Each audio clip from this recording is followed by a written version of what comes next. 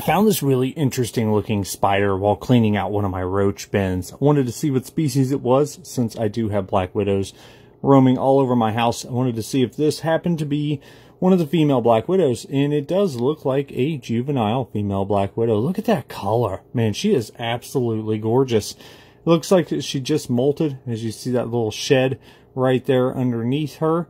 I think she wants a high five. Let's go ahead and let her know that we stand by her and what she does to my roaches. We are friends, even if she is eating away at my profits. That's okay. I understand. Let's go ahead and try to get a good view of that hourglass on her underneath side so then you guys can see that it is a little black widow. This looks like a young female southern black widow. So I will probably go ahead and scoop her up so then she doesn't eat too many roaches and become too big and then breed. And then I have more baby black widows in my house. We can't have that now, can we?